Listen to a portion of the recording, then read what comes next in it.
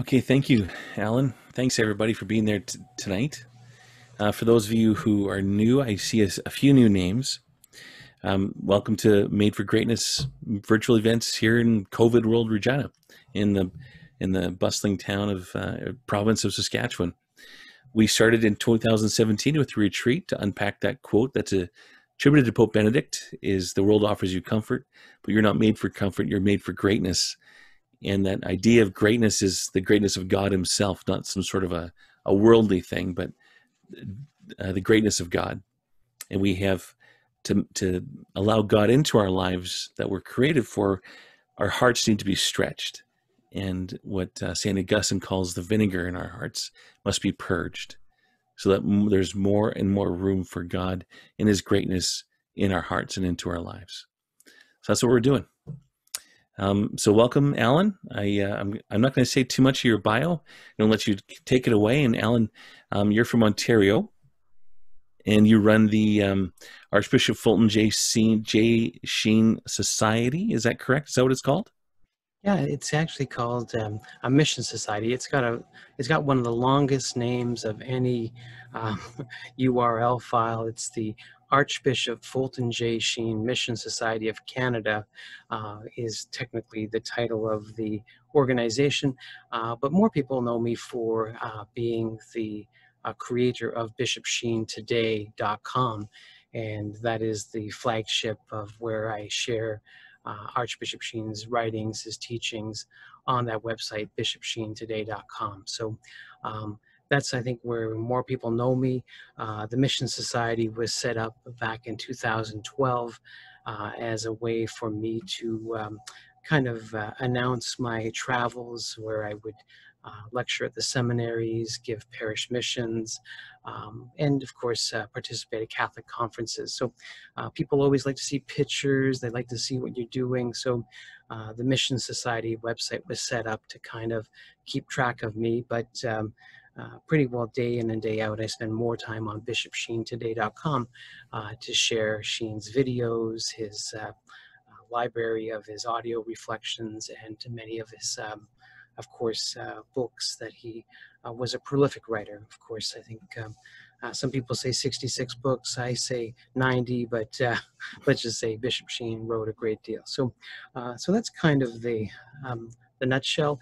Um, you know, my day job, I'm a plumber. I'm um, known as the pipe padre or the gas man. So uh, I am a man of trade. And so uh, uh, the good Lord has allowed me to feed my family through uh, my labors. And so um, I'm going to, of course, uh, start my video here and uh, show you who I am. I think a lot of people know my voice more than my face. So um, uh, that's the difference. So when people finally meet me for the first time, they usually say, "Oh, I thought you were taller. I thought you were older. so uh, that's the joy of being on radio. And um, uh, again, you have to guess what people look like. So, uh, but for myself, because I make regular appearances on uh, EWTN television, Shalom TV, uh, I'm always speaking at Catholic conferences, it seems, because now everything's gone digital. That's all we do is uh, what conferences this weekend. Uh, right now, I'm speaking at the Spiritual Rosary Pilgrimage, which is a large um, online um, event with about, uh, I think they're up to 50,000 uh, pilgrims that have signed up for this pilgrimage. And uh, it's a four week long pilgrimage where every day we pray the rosary together. Uh, a number of the speakers give uh, meditation on the various mysteries of the rosary. And, um, you know, I've got a talk coming up this weekend on the power of the rosary. And so, um, again, and I led a rosary last week during the pilgrimage. So, um, again, these online conferences seem to be the norm now. It's kind of the way the church is going. So, um, again, Zoom seems to be where we're at uh, on a regular basis. So, all right. Uh, but in a nutshell, I always try to say is that I'm a father, a grandfather, a man of trade, um, retreat master, author. I have two books to my credit, soon to be a third book, and um, radio host. Uh, a jack of all trades, master of none. Uh, my wife calls me a renaissance man because, um, you know, I kind of uh, take to many tasks and try to do the best I can to juggle those tasks. But still, um, with God's help, you can do anything. you can do anything. So uh, anyway, that's a short bio. Um, I will give you a little insight that I'm one of 12 children, and so I'm well adjusted. And uh, I, again, uh, my needs are small. I learned very quickly to have a spirit of gratitude, and uh, so I'm easy to please. Uh, give me a bit of coffee, life's good. Life's good. Well, I have no, I have no coffee to give you, but as you see his name on your screen, Darcy Donovan has popcorn. Okay, very good. very. But. I, I, had asked you uh, when when we were ta- asking you to to share with us tonight. I'd asked you three questions, and if you could elaborate on these questions. One was, "What has God done in your life? What is He doing with you currently, and where do you see that He's leading you?" Um, and you're it. Uh, I, I think I would love to hear more about that and see how exactly God has moved in your life. And um, as everybody sees, hopefully everybody sees, it's being recorded this evening. Uh, Allan has recording on his end, so he's going to be some do a little bit of editing from his part, and ours is going to be more raw, and it'll be on our Facebook page if anybody wants to watch it later on. You're going to be welcome to. Um, so, um, Allan, how's God moving in your life, Allan? Right. What's he done for you in the past? Well, I, I have to go back to um, the moment of conception. And, um, you know, I find out these stories through my mother uh, later on, and you really truly see the hand of God. And um, I have to say, I am one of 12 children.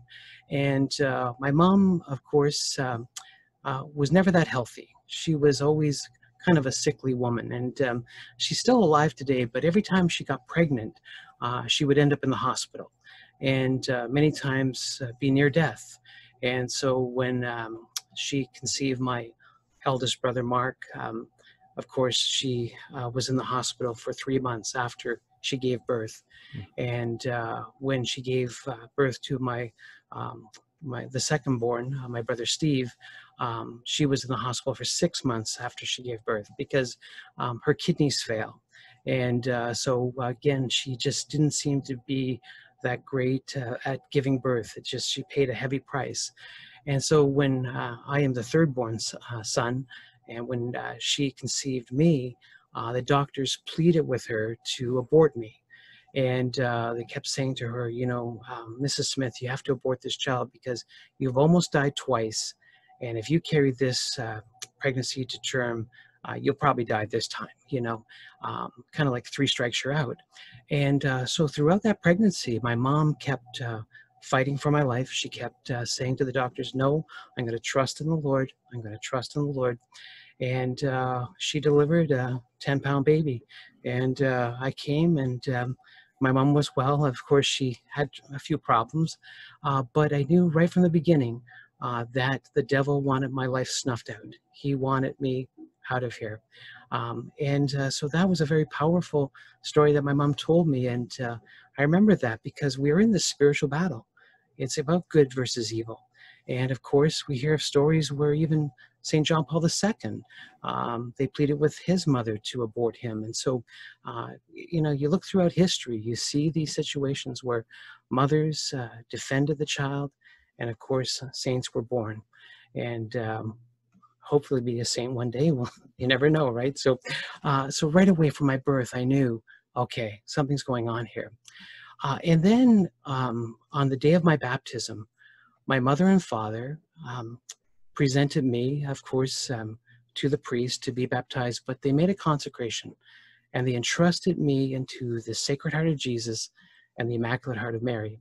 And they did this for almost all of their children. But it was that entrustment that I didn't even know took place that uh, when I look at my devotion to the Sacred Heart of Jesus and my devotion to the Immaculate Heart and the spiritual benefits that I've received, um, I have to thank my parents for that little entrustment that they made on the day of my baptism. And uh, again, these things that parents do in secret, um, do them, do them.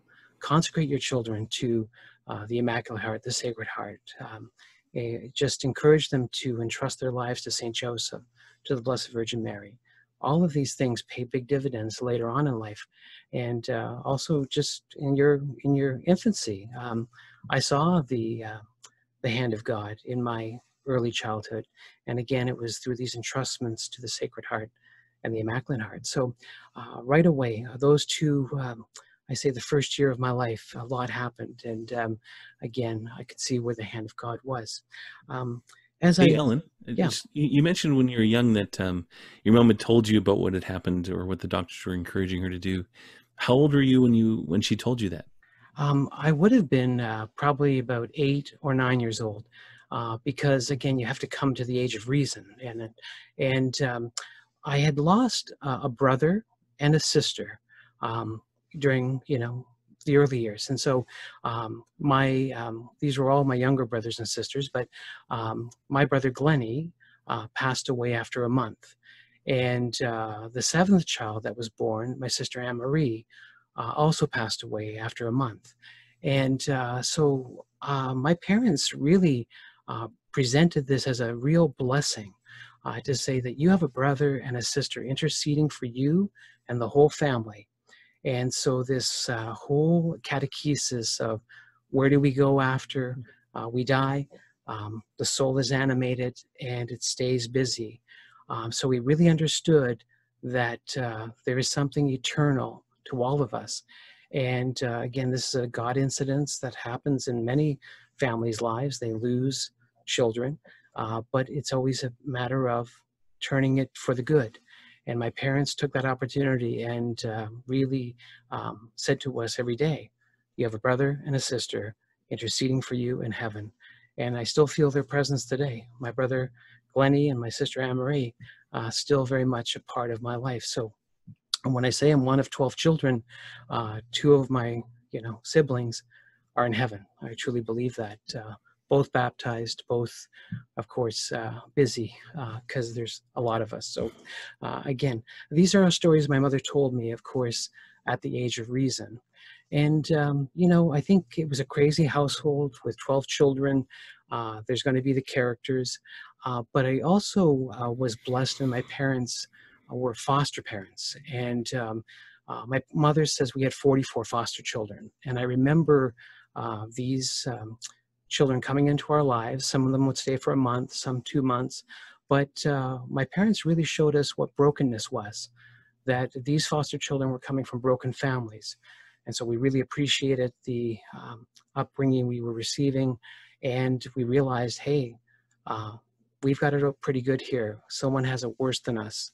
And uh, so they exposed us to uh, what a broken family is. Uh, and again, our role to help people. So uh, again, my parents, um, again, were um, building us up in a beautiful way uh, just with our life experience. And so uh, foster kids uh, coming and going. Um, and then, of course, my parents started to volunteer us in the community. And I think many parents can relate to that.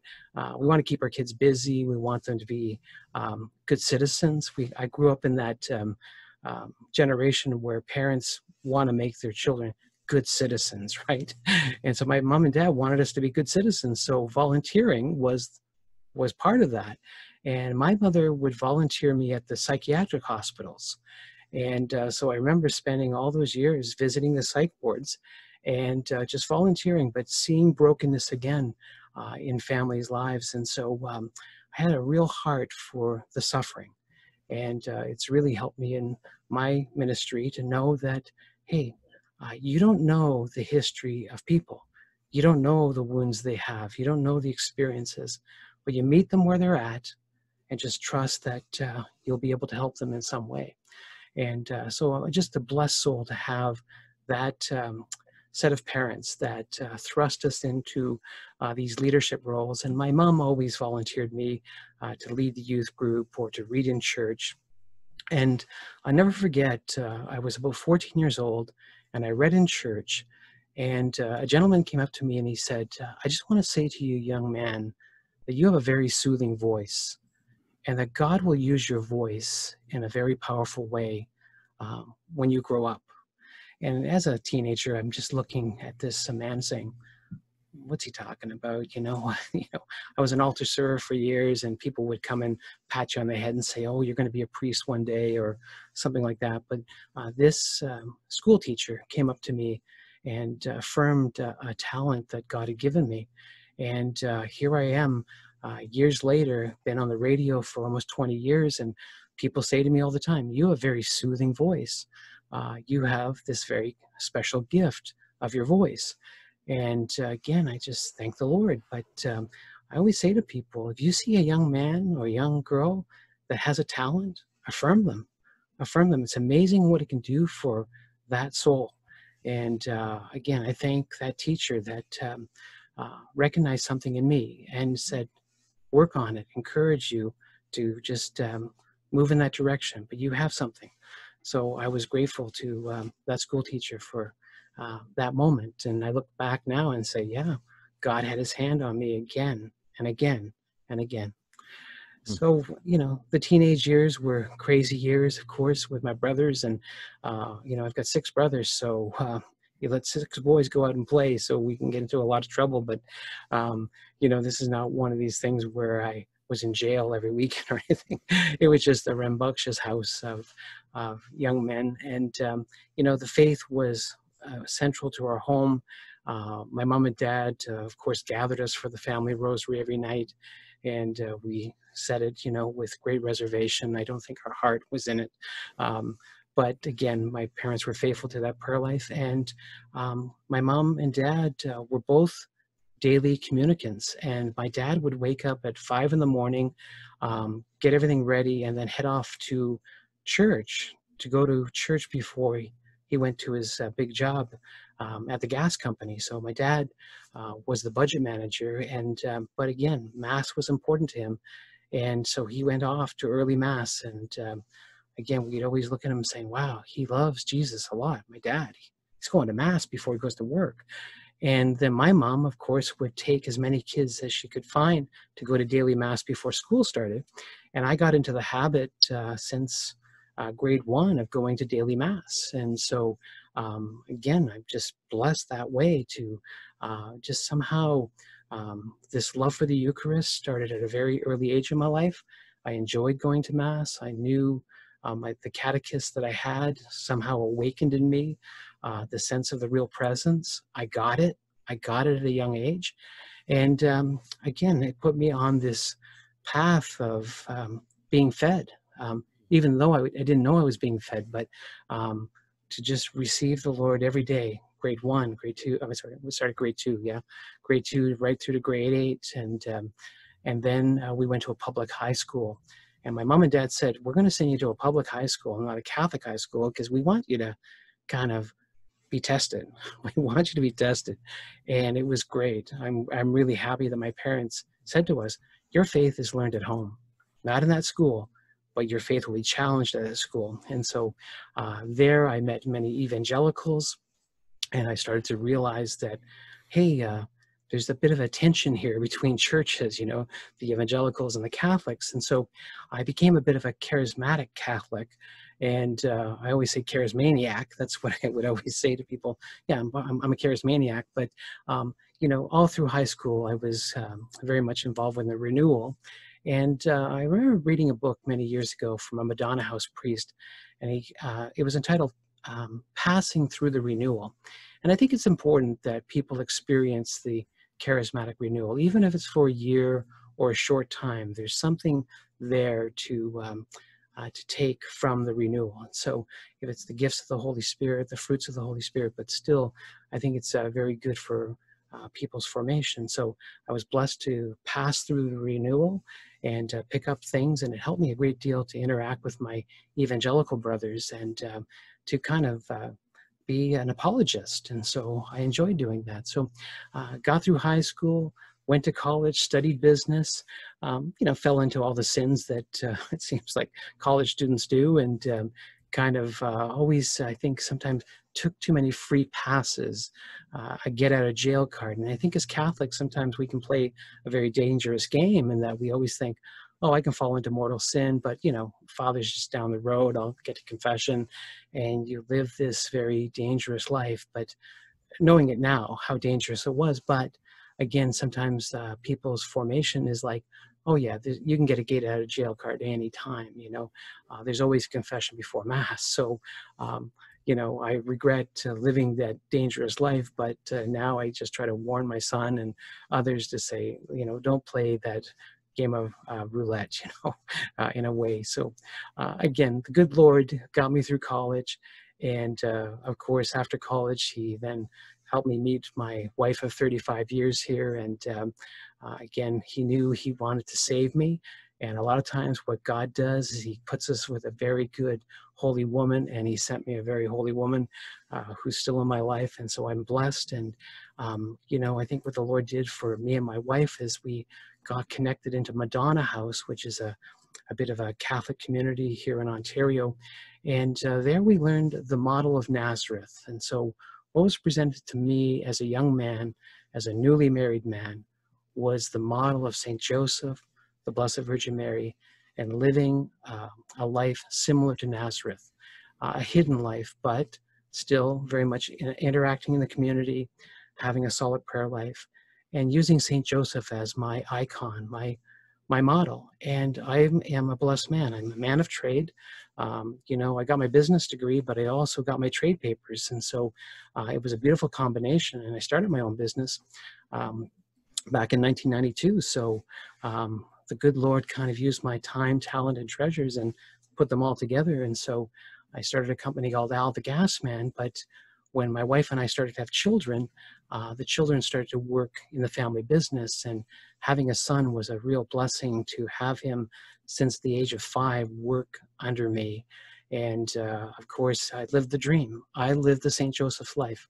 Uh, daily mass every morning, holy hour, and then of course going to work and uh, raising a family. And um, here I am now with three adult children, all of them married, five grandchildren, uh, a son who took over my family business. And uh, again, always because we live that model of Nazareth. Um, and I was priest, prophet, and king. And my wife called me out. I think I was 25 years old, and she said, "You're going to be the priest, prophet, and king of this home, um, and uh, that's your role, and that's also your baptismal anointing. When you were baptized, you were claimed for Christ and anointed priest, prophet, and king.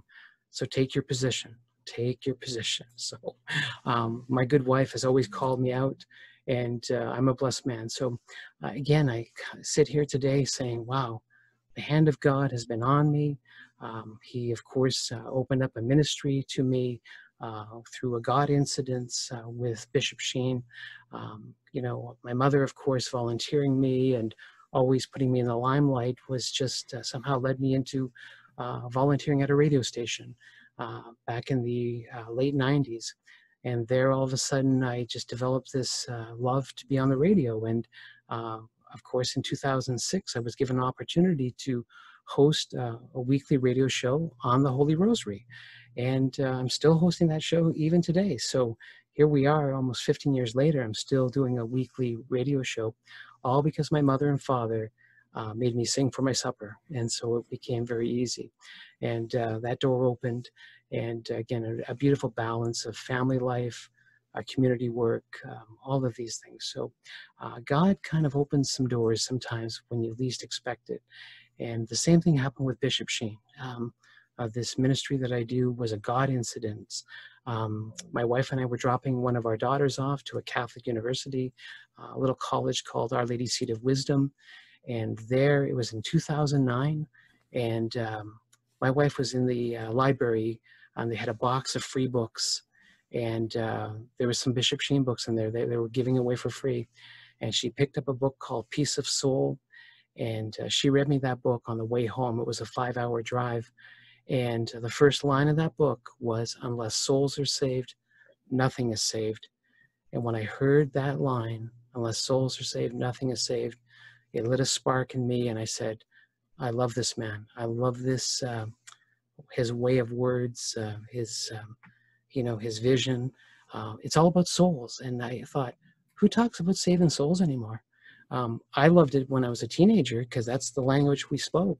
All my evangelical friends were saying, Are you saved? Are you saved? Let's go save some souls.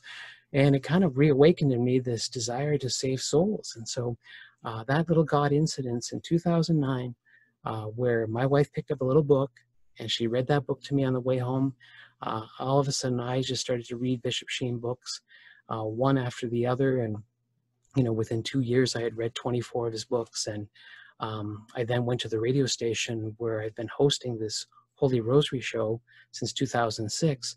And so in 2012, I went to my producer and said, could I do a Bishop Sheen hour? And I started to replay his old talks, and um, boy, that just took off. And um, you know, all of a sudden, a radio station in Toronto wanted me to simulcast the show, and then Radio Maria called me, and so uh, the next thing you know, all these doors are opening up, all because of God incident in 2009. So um, again, the hand of God is upon me. Um, that's of course how he led me up to today. And um, you know i think uh, the second question you asked me is uh, what's god doing today in my life? And he's got me busy just uh, sharing bishop sheen. Um, you know archbishop sheen spent the last 10 years of his life uh, giving retreats. Uh, he knew that the key to the renovation of the church and the salvation of souls was to renew the priesthood was to, uh, you know, uh, energize, engage, um, just tell everybody that your life is worth living. I mean, all those years on television, the name of the show was Life is Worth Living. And he wanted to say to all of us, God has a plan for you. And, you know, he came into this world, uh, he took on human flesh, and he went to the cross and died for us. That is a great story. Let's rejoice and you could almost see he had almost like a Cheshire smile, like a, a, Cheshire cat smile, a lot of times, and he would just be just gleaming and uh, just glowing because he had something, and you said, "I want what he's got. I want what he's got," and the church doubled in size in the 1950s, and I, I believe a lot of it had to do with Fulton Sheen um, because he engaged the culture with uh, this great love story. God so loved the world that he sent his son to die on the cross. And he would talk about current affairs and always bring Christ into the conversation. And so, of course, he's a great holy inspiration for me. And as a man of trade, visiting uh, tens of thousands of peoples and going into their houses to fix their pipes, I get to bring the gospel, all the books that I've read about Bishop Sheen. I get to kind of share those stories with people. Uh, so he has been a great coach for me and uh, just helped me along in my um, ability to um, just be a good catechist, but also a good apologist. And so I'm busy uh, just um, I just plugging people in. That's what I love to do. I want to introduce Bishop Sheen to a whole new generation of viewers, listeners, and readers.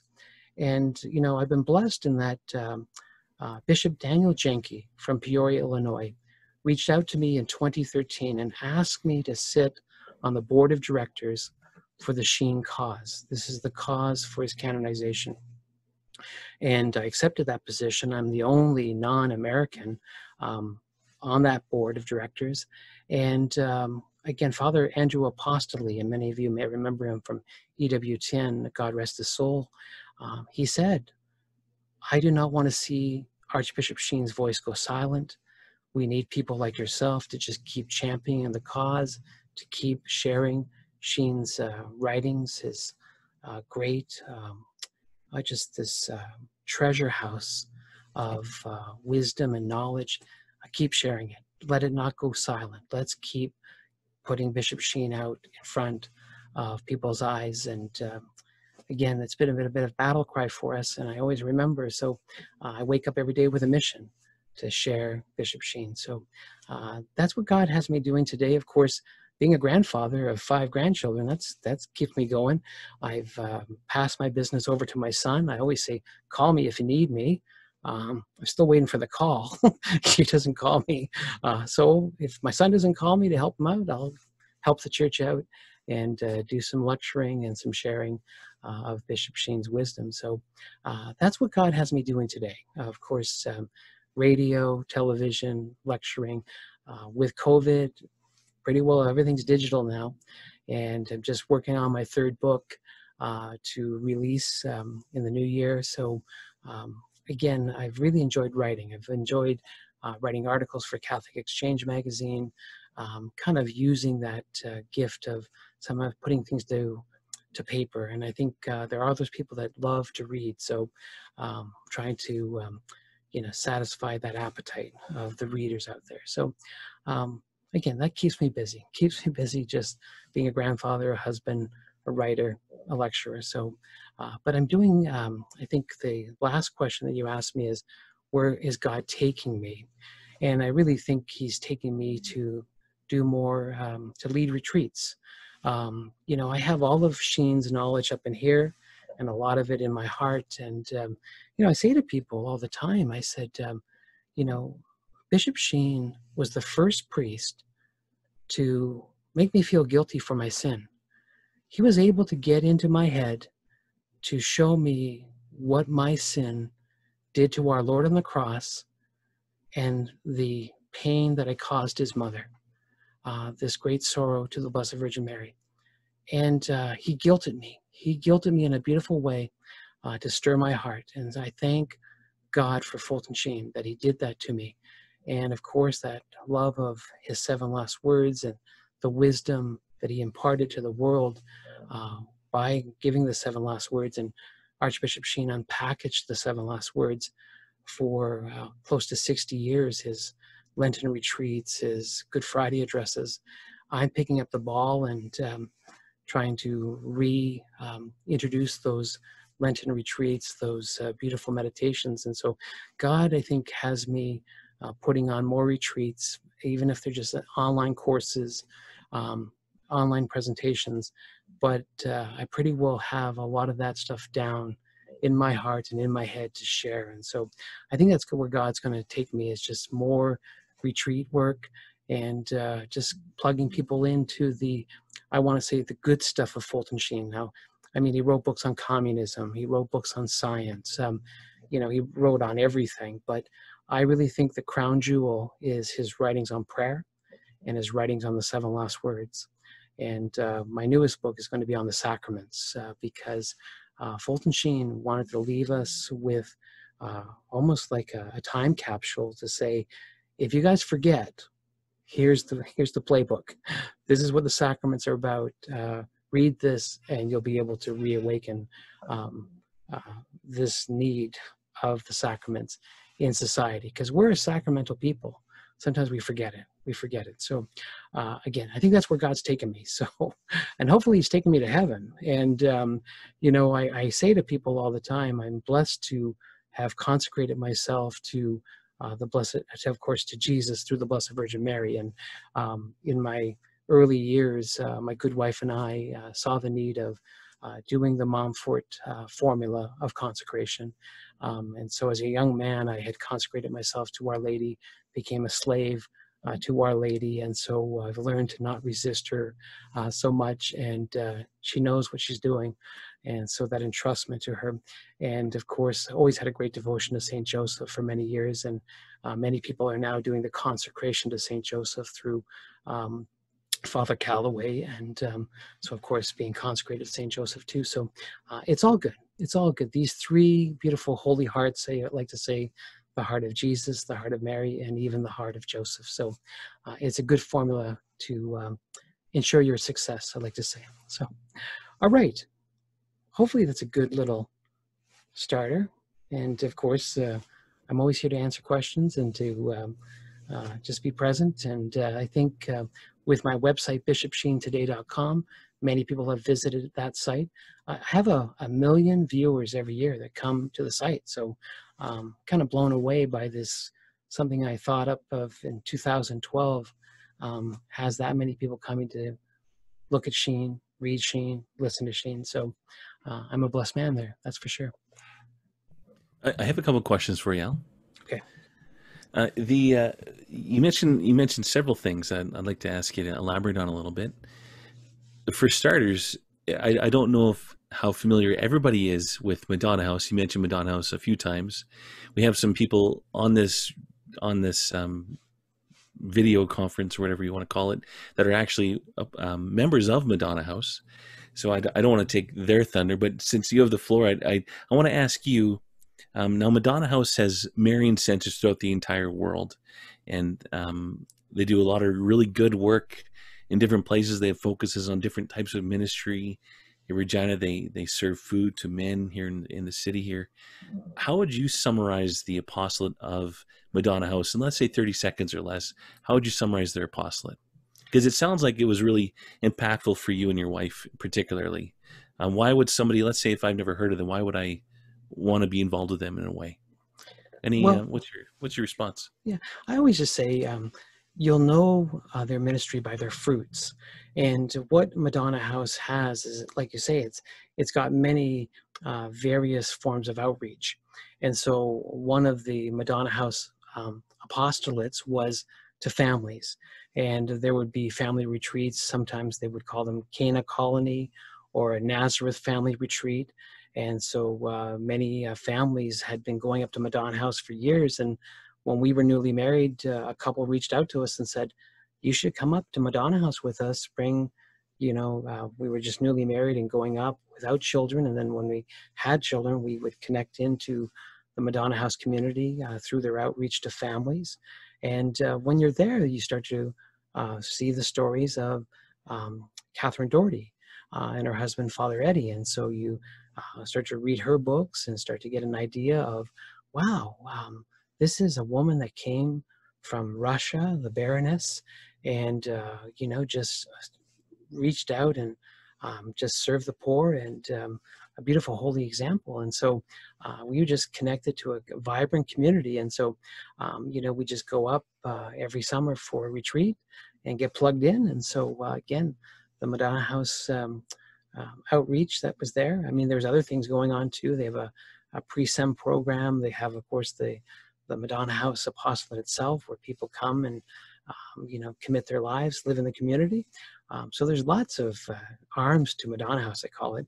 They have a great publishing uh, um, leg where they, of course, have beautiful publications. So uh, there's stuff, but uh, one of my favorite things is uh, just a little prayer card I received from Madonna House saying, "I am third," and uh, that little prayer card that I have on my fridge, "I am third," just kind of sets me straight every day. God first, others second, myself third.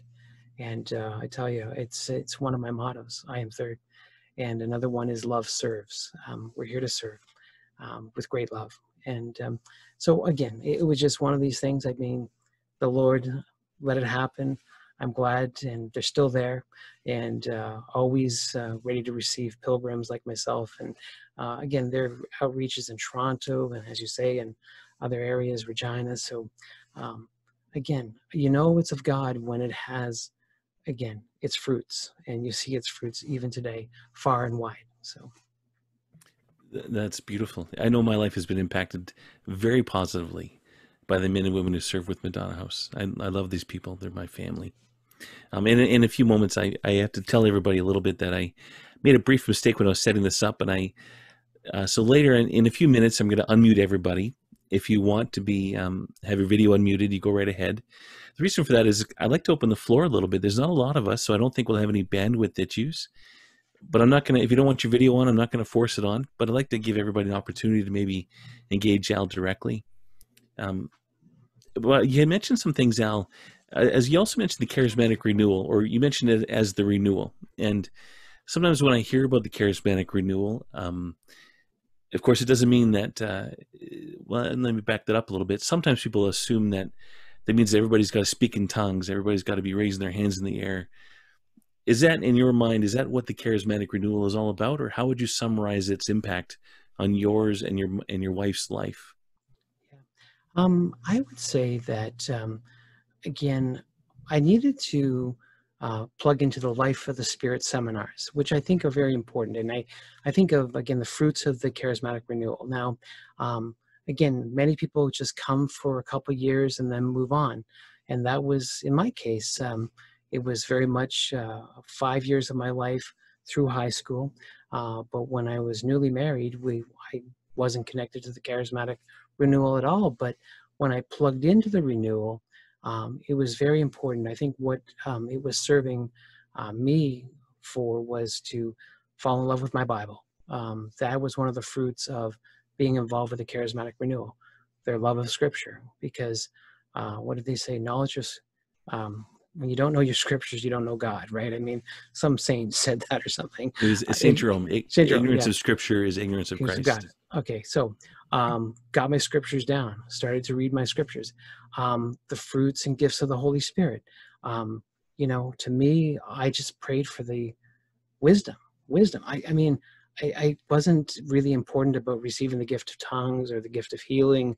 I just wanted I knew I wanted to pray for wisdom. And that was something I just wanted to keep tapping into that.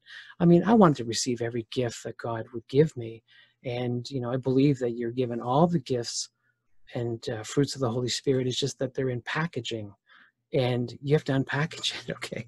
It's there. But a lot of times people receive the gifts and just leave it um, underneath the Christmas tree. Um, but if you take that and say, I want to work with this, I want to get to know this gift and uh, unpackage it, um, it can really work in your life. So um, being exposed to the gifts and the fruits of the Holy Spirit, understanding what they are, how you can use them in your life, how you can use them in ministry, um, and again, praying for God to continue to release the Holy Spirit. And I love that short little prayer Come, Holy Spirit, come by means of the powerful intercession of the Immaculate Heart of Mary, your well beloved spouse. Uh, always ask the Holy Spirit to come. And um, again, it's one of these things where, uh, as I said, it was a Madonna House priest that wrote a beautiful book. I think it was Father Wild about passing through the renewal. Um, and, and that was my case. I got to pass through the renewal and take many uh, good things from it. So um, I get it. I get it. So um, again, I recommend it to everyone if they can find it. And this is the whole thing: is it kind of disappeared a little bit. Um, and again, I don't know if that's just again, I can't really, I don't really have a, a definitive answer of why the renewal um, um, disappeared. If that's right, it hasn't disappeared, but in many churches that used to have uh, prayer groups and uh, you know quite a large communities they've seemed to have uh, petered out a great deal. So um, I'm not saying it's underground, but there are charismatic groups. Don't get me wrong. Um, it's just that you got to go looking for them. you have to go looking for them. They're not in every parish anymore. It seems. You know, something that's interesting about that is I find it's very regional, and where it's not actively present. And I, when I talk to some of the engaged Catholics in those areas where it's not actively present, they almost mock it sometimes, or else they kind of pat it on the head. You know, good, you know, good for you. That's okay.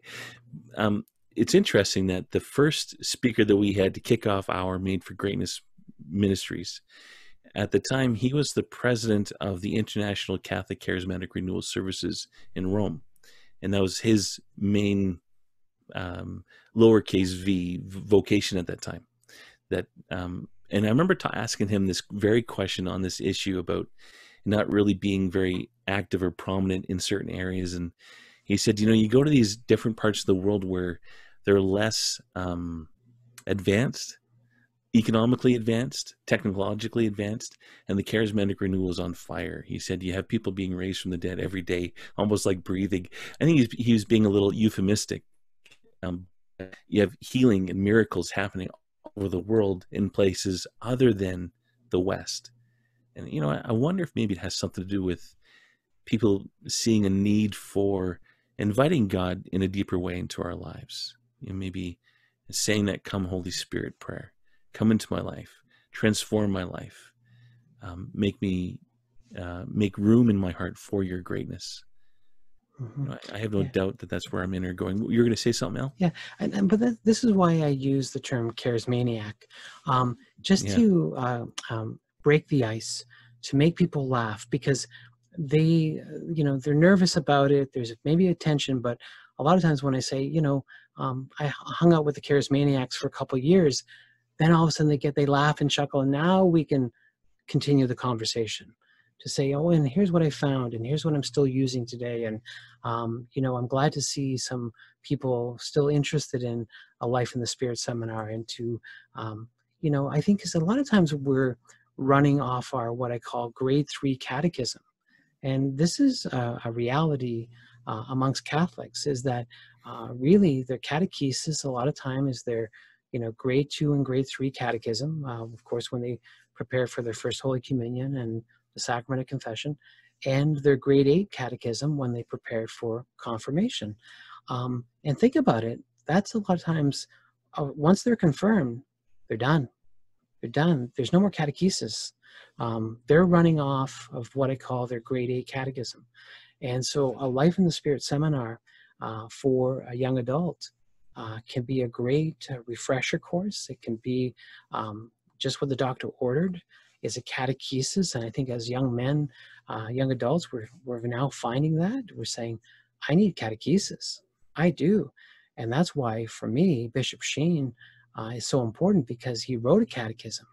Uh, he took uh, the time to make 26 albums, uh, 50 lessons, and it's called the Sheen Catechism.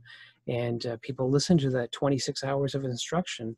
And in fact, Bishop Sheen um, said, if you want to be a Catholic under my watch, you got to do 26 hours with me. so hmm. there's no free pass here. There's no, um, you know, cheat, uh, you know, go pass go. no, um, you got to put the time in, put the time in. So uh, that's what I love about Sheen. He wrote a catechism and he was serious about catechesis. And I think that's what we need to do too is uh, remember, most people have only a grade eight catechism. Let's connect them in. Let's get them started again, kickstart something. Um, so I'd love to hear more about your ministry with uh, Fulton Sheen, but you'd mentioned also in passing that you just met your wife and it was just sort of planted in the middle of the story. I'd love to hear a little bit if you could elaborate how you met your wife and uh, maybe your journey leading up to it, because some of our men in our community here um, are still struggling with that desire of wanting to get married, but not really finding anybody that um, that they can have a relationship with let's if you wouldn't mind unpacking that a little bit how you met your wife or did she just sort of land in your life no, in one day? no, no. you know, how did it go? Yeah so again go back to my mother and father. Um, and i remember i was 14 years old and so of course all of you know a couple of my brothers and sisters now were starting to date and um, you know we are kind of you know seeing uh, the opposite sex on the horizon and so um, you know both for my sisters and my brothers and you know the parents coming together and saying okay now children listen up. You need to pray that god will send you your spouse okay? That, that that's one of your prayer intentions now is that you're going to start praying every day that the lord will send you a holy spouse and most likely um, the lord will send you your spouse at church. So be looking at church because they were trying to uh, coach us in a good way, saying, you know, you, you want to be equally yoked. If you're going to mass every Sunday and you're praying a rosary, get someone that kind of is wired for sound like you are. Make it easy on yourself. And um, so my mom and dad said, keep praying for your future wife. And so I started praying for a wife at 14. And I kept saying, Lord, um, you know the inventory. You know the inventory. Okay, there's 3 billion girls out there and me okay? You you, you made them all. So you know the inventory um, in your gut perfect timing. Let this happen right? And sure enough um, i think i was 22 i was 22 at the time i met my wife outside of maple leaf gardens at a beautiful charismatic rally. It was called the fire rally. And uh, they had uh, ralph martin father bertolucci sister ann shields uh, giving talks at maple leaf gardens. The place was full um, you know, they put 15,000 uh, in there. and I was running a youth group in Oshawa, Ontario, and my uh, friend at the time was running a youth group in Cambridge, Ontario.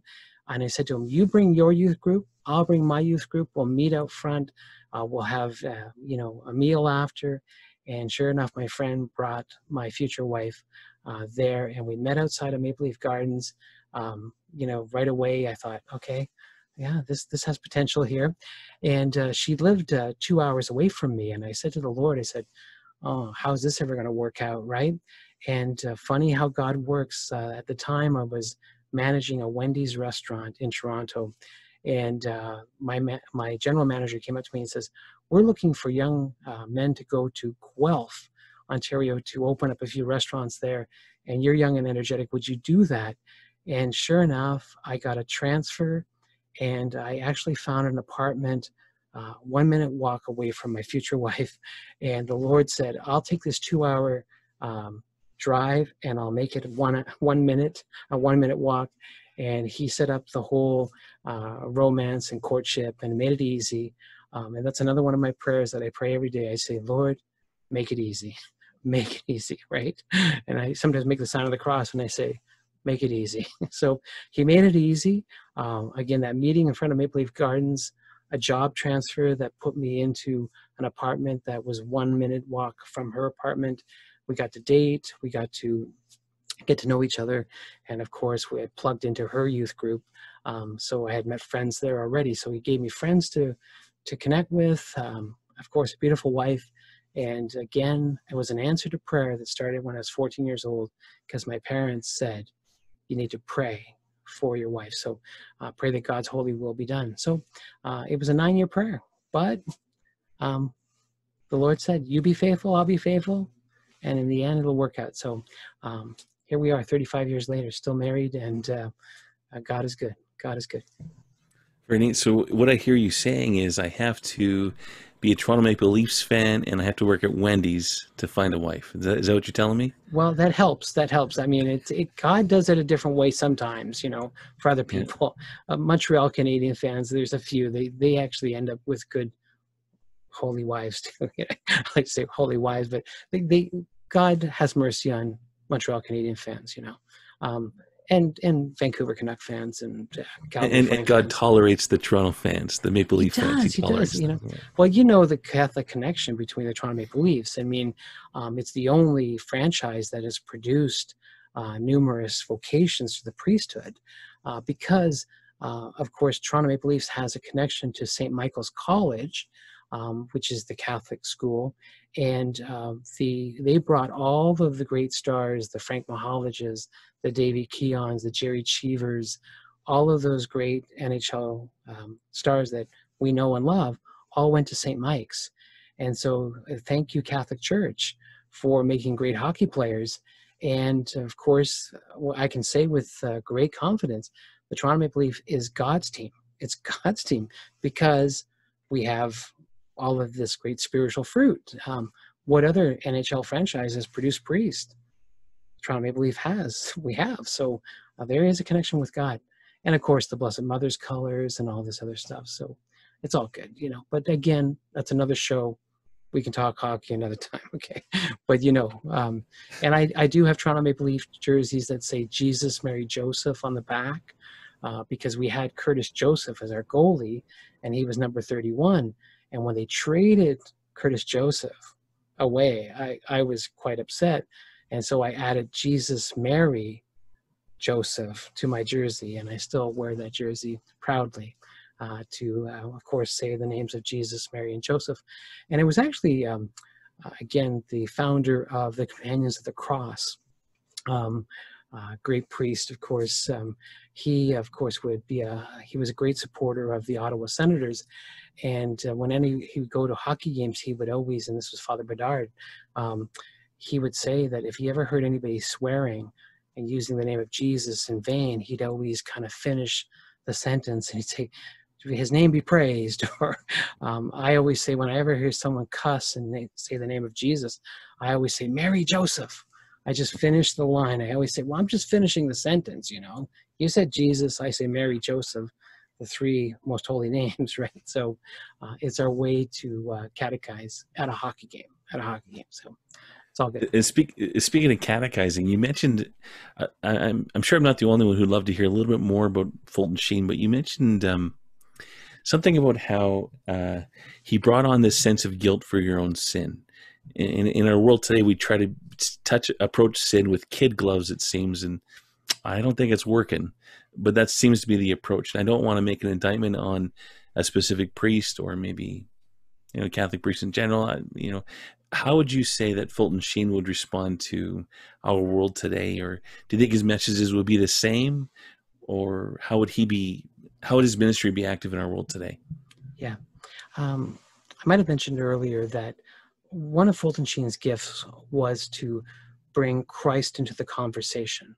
Um, like I'll give you an example. He would say something like this. He says, "You know, I was at the awards uh, ceremony last night, and of course, everybody remembers uh, in 1952 when uh, Bishop Sheen won the Emmy uh, for the most outstanding television personality. And when he received his award, he got up to the microphone and said, "I want to thank my writers, Matthew, Mark, Luke, and John." Of course, uh, brought the house down. Everybody laughed but there he was on a stage, taking that opportunity to bring everything to God, like to kind of bring the conversation to God. And uh, he was giving an interview and he was saying, um, you know, he says, uh, last night at this award ceremony, I noticed everybody was thanking their writers and thanking their relatives, but um, how many people really thank God uh, for the talent they have as actors, the voice they have as singers? Um, didn't hear too many people thanking God. And he says, you know, kind of reminds me uh, in sacred scripture when our Lord and Savior healed 10 lepers and they all went away and only one of them came back to thank him. Where's the nine? Where's the other nine? And he said, you know, kind of reminds me of that awards banquet last night. And it reminds me sometimes in our life's journey, how thankful are we to God? Uh, he heals us, He assists us, yet we're like those nine lepers that just don't come back. And how do you how does that make you feel? You know almost like a you know dr phil how does that make you feel? Because he would then make us go yeah i feel terrible because yeah i'm like the nine. I i never thank god. I don't do that and so see he got into me he got into me and of course he just brought the scriptures brought it into the conversation and said did you ever think about our lord and the ingratitude and then what about you and then he go I'm ungrateful too. I don't thank God enough. So that was how he did it with me. And um, so, you know, when I read this book called Victory Over Vice, uh, 1939, Sheen penned this book, and he took the seven deadly sins and use them as the antidote to the seven deadly sins. Um, sorry, so the seven last words of cross. Sorry, I got that. It was the seven last words of our Lord spoke from the cross was the antidote for the seven deadly sins. And when I read that book cover to cover, I realized that I was suffering from all of the seven deadly sins. Uh, you know, the sin of anger, Father, forgive them, for they know not what they do. He was saying to us, uh, get your anger under control. The Lord has forgiven you this huge debt. He uses the example of the master, who, of course, had the slave come to him and he says, Pay me what you owe me. And he says, Please, please, uh, I'll pay you everything. And he owed him a huge, like millions of dollars, it seemed, and he forgave him. And then he went down the hall and he throttled his buddy who owed him like 20 cents or something. And of course, we know what happened to that slave, right? But the Lord's forgiven you. Think about that great debt. And I started to realize, yes, the Lord has forgiven me so much stuff, showed me so much mercy. I need to extend that mercy to others, right? And so he took the scriptures used our Lord's from the cross, applied it to my anger, and said, let's fix this, let's fix this. Um, and it was the same for gluttony. You know, when he says the words, I thirst, uh, the Lord was making reparation. Uh, we are so gluttonous, not just for food, but drink and sports and entertainment. Um, our Lord's thirsting for a relationship, our time and our attention, and yet we're chasing all that other stuff. And those words from the cross, I thirst, and Sheen tying it into, um, you know, and he'd say two things that just, you know, that rocked my world at the time when I read it was, he says, you know, there's no more health clubs in America than there is spiritual retreat houses. And how many of you guys want to work out for two hours a day?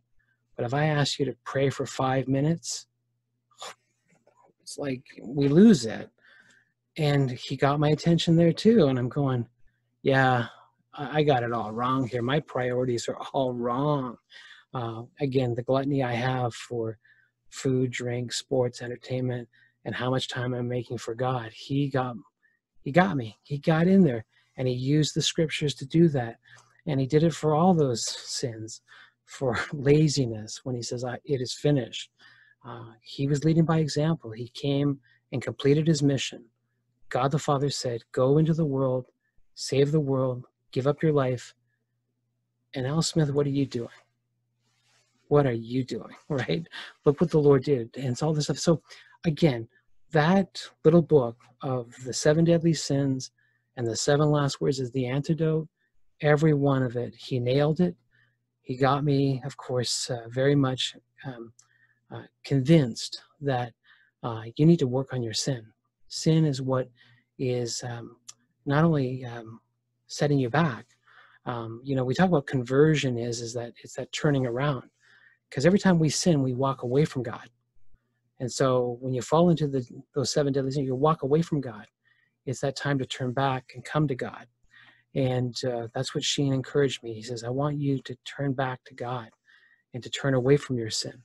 And I'm going to remind you. So keep meditating on the seven last words and that's going to be your therapy And another thing that he uh, presented in my life was the crucifix. And he said, um, you know, you need to start putting some of these in your life as a reminder.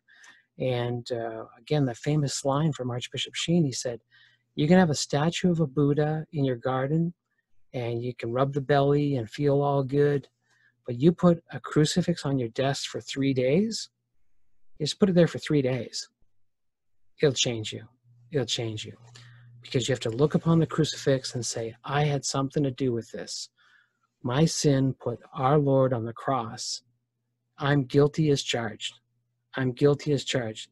And at the foot of the cross is his mother, and she was losing her son because of you and your reckless behavior. Shame on you. Shame on you. You made your mother cry. You made his mother cry. Like, come on. And of course, you get moved to say, Yeah, I feel terrible. Well, you're going to make your mom happy if you turn away from sin. And I said to you in sacred scripture, if you love me, you will keep my commandments. Got that? Get on the program, okay? Keep my commandments. If you love me, keep my commandments, okay? Um, listen to your mother. Listen to God the Father, because he said, This is my beloved Son. Listen to him, right? And what did the Blessed Virgin Mary say to us uh, at the wedding feast of Cana? Do whatever he tells you, okay? So God the Father is telling me, listen to him. The Blessed Virgin Mary saying to me, do whatever he tells you. Look at your crucifix every day. Spend a little time with that. Ponder the seven last words. Now you got a program. Now you got a program. So uh, that's all I keep sharing to guys all the time. Get with the let's, program. Get with the program. let's uh let's before we open up the floor to everybody, let's just say on that note, let's say just a quick re- rededication prayer, just an impromptu prayer. Um, I, I know that for myself, Al, I, I I can I know where in my life that I'm not listening to God when He tells me, do whatever she tells you. I I know that, and I I keep doing it, kind of like St. Paul. I, I keep doing these things that I know I shouldn't do. Thank God for His grace. His grace is much bigger than all of this. The God of the universe, through my baptism, lives in me and lives in all of us.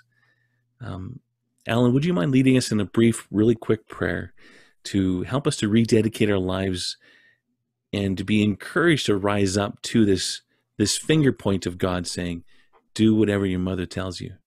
If you could just say a brief prayer for us, Al. Yeah.